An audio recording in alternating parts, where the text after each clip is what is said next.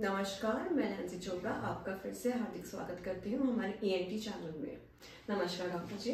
अच्छा मैं आपसे कुछ सवाल करना चाहती हूँ जो हमारे डायरेक्टली हमारे व्यूअर्स की तरफ़ से हैं। पहला सवाल ये है कि मेरा ऑपरेशन पाँच नवंबर को हुआ है।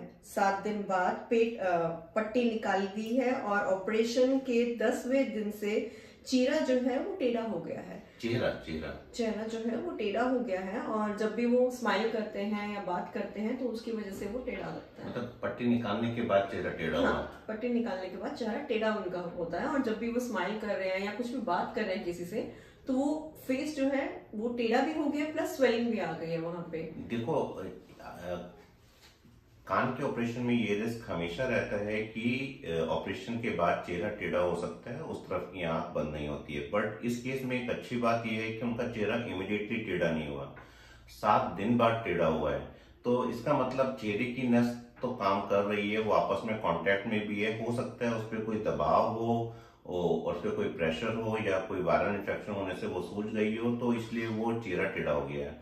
मुझे उम्मीद है कि इस समय आपके डॉक्टर ने स्टीरॉयड स्टार्ट कर दिए होंगे और आप कुछ फेस की फिजियोथेरेपी कराएँगे तो आपका चेहरा रिकवर हो जाएगा, आँख भी बंद होने लगेगी। आप तुरंत अपने डॉक्टर से कांटेक्ट करिए और वही आपको उचित इलाज करेंगे। घबराइए मत, ये ठीक होने की पूरी पूरी संभावना है। वैसे सर, अगर ये कुछ ऐसे केसेस अगर आ जाते हैं, चेहरा टेढ़ा हो जाता है तो वो क्या उम्मीद होती है कब तक में ये रिकवर हो जाता है? डिपेंड करता है कि वो देखो बेल्स पालसी होती है वायरल इन्फेक्शन वो दो तीन हफ़्ते भी ले लेती है। अगर ये ऑपरेशन के कारण हुआ है दबाव के कारण हुआ है तो सर्जन को पता होता है कि चेहरे की नस का क्या स्टेटस था। बट चूँकि इनका एक हफ़्ते बाद टेढ़ा हुआ है तो बहुत अच्छे चांसेस हैं कि ये बहुत जल्दी ठीक हो जाएगा।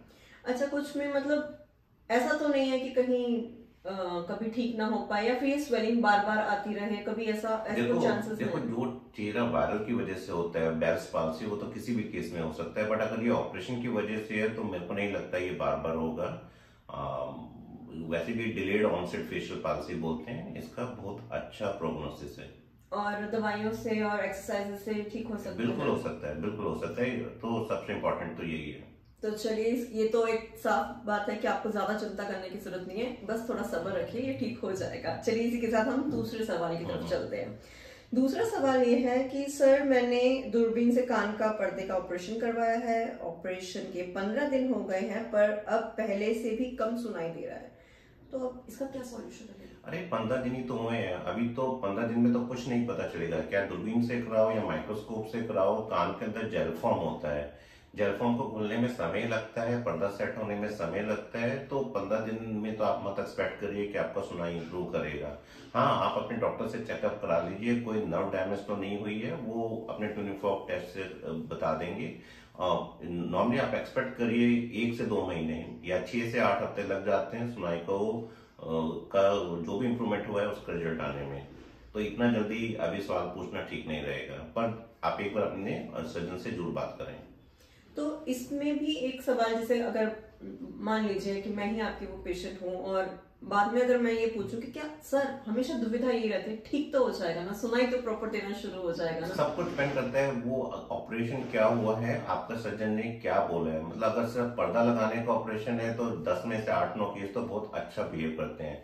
पर अगर कान की हड्डी का भी ऑपरेशन हुआ है तो उसमें उतने अच्छे रिज़ल्ट नहीं है maybe fifty sixty percent at the best मैं बोल सकता हूँ। और तो डिपेंड करता है कि सर्जन को पता होता है उसने क्या काम किया अगर ये प्रश्न आप डायरेक्टली अपने केस में उन सर्जन से पूछे तो सर्जन आपको बेटर आंसर दे पाएगा। बट बट कितना परसेंट है, वो कहना कई बार बहुत मुश्किल होता है। हम अब हम चलते हैं हमारे तीसरे सवाल के ऊपर, जहाँ पे हमारे व्यूअर पूछ रहे हैं कि, सर, कान का पर्दा फट गया था, अब भर भी गया है पर्दा। मगर वो पर्दा पतला आया है तो नॉर्मल कब होगा देखिए कान का पर्दा का छेद भर गया है, पर वो पतला आया है तो आप इसको ही नॉर्मल मानिए। जब छेद भरता है तो कान की तीन लेयर होती हैं। जो बीच की लेयर होती है फाइब्रस लेयर जब छेद भरता है तो कई बार वो फाइब्रस लेयर एबसेंट होती है, जिस वजह से पर्दा पतला आता है। बट ये पर्दा भी अक्सर उतना ही अच्छा काम करता है, जितना नॉर्मल पर्दा होता है तो आप इसको ही सही पर्दा मानिए। और मुझे उम्मीद है कि ये पर्दा भी उतना ही ईयरिंग इम्प्रूवमेंट दे रहा होगा जितना नॉर्मल पर्दा दे रहा था। तो आप इसी को गॉड गिफ्ट मान लीजिए क्योंकि ये भी काम करेगा। इसी के, यही, इसी के साथ एक मिलता जुलता सवाल एक और व्यूअर का है कि क्या दवाइयों से पर्दा नॉर्मल हो सकता है? ये पतला पर्दा जो नॉर्मल हो सकता है दवाइयों से। दवाइयों से ये नॉर्मल नहीं हो सकता क्योंकि तीन लेयर्स होती हैं। बीच की लेयर फाइब्रस लेयर नहीं आती है। तो और दवाइयों से ये और ज़्यादा इम्प्रूव नहीं हो सकता। तो जो भी पतला पर्दा कम से कम आ तो गया है तो आप इसी को ही एक्सेप्ट कर लीजिए। तो ये पतले पर्दे होने के कारण क्या सुनाई में कुछ फ़र्क आता है? थोड़ा बहुत हो सकता है बट प्रैक्टिकली तो ठीक ही सुनाई देता है। तो इसलिए मेरे को नहीं लगता कि उनको कोई ज़्यादा दिक्कत होनी चाहिए। ठीक है तो ये पतला पर्दे को ही नॉर्मल मान लीजिए आप।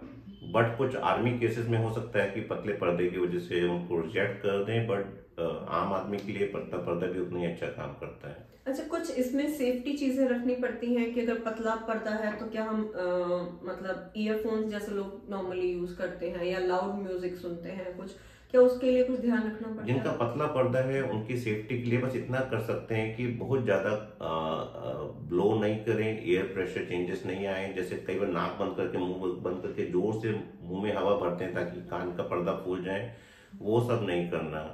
ऑफकोर्स थोड़ा बहुत तो उन्हें केयरफुल रहना पड़ेगा बट प्रैक्टिकली ये ज़्यादा तंग नहीं करता अनलेस आप कोई बहुत ज़्यादा एफर्ट्स लगाएँ। चलिए इसी के साथ हम अपने ये छोटे मोटे सवालों को यहीं समाप्त करते हैं और जल्द ही नए सवालों के साथ फिर मुलाकात होगी। धन्यवाद। Thank you